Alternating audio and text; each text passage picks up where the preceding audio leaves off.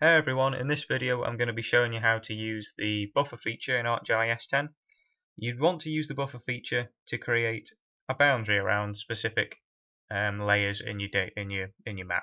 In this case I'm going to create a buffer around railways. Uh, to use the buffer feature you select Geoprocessing tab at the top and Buffer.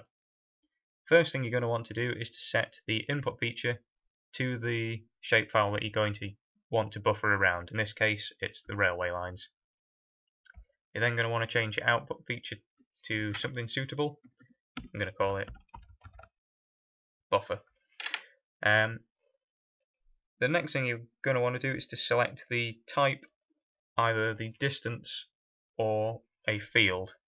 Uh, the field is if you have all the distances in a field within your attribute table. I don't in this case, so we're going to use a linear unit. I'm going to set it to 1 kilometre. As you can see there's all the different units of measurements in there so you can select the one that's most appropriate. The next thing you want to do is to set your side type. The default is full but you have the option to set it to either buffer only one side of the line either left or right. In this case I'm going to use full. Next option you've got is to select the end type. You can either choose round or flat. It's just at the end of end of the buffers it'll either be rounded or flattened. In this case I'm going to use round. The final thing you're going to have to set is the dissolve type. Now the dissolve type is handy because in this case um, the railways are not a continuous polyline, they're made up of lots of smaller polylines. So if you select none, the feature that the buffer feature that you'll get will just be lots of small buffers all overlapping each other.